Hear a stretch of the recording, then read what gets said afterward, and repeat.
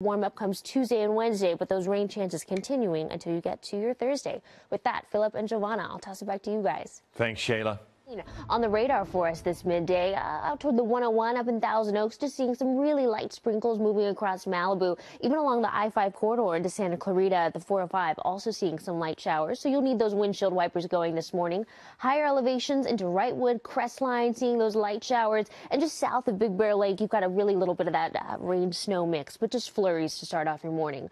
Moving farther south, you'll notice into the IE, Orange County, not much, mostly clear skies for you, and then out towards Los Los Angeles, even Inglewood seeing some really light showers. And this is really going to be the name of the game today. Sprinkles on and off, hit or miss. As Philip was saying earlier, Malibu right now, though, look, looking really nice out there. It is cloudy for you and temperatures on the cool side, 58 degrees. The sky cam doesn't want to cooperate today, but Anaheim is in the 60s as well. Disneyland was looking uh, very nice, much warmer than this. Downtown Los Angeles making it to the mid 60s, valleys upper 60s.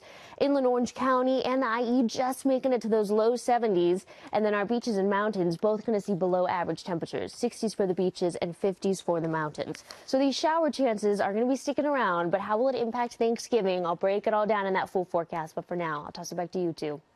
Shayla, thank you.